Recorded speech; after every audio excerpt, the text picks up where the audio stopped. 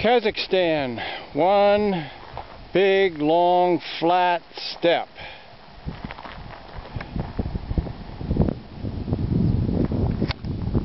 Just one big flat area. Incredible.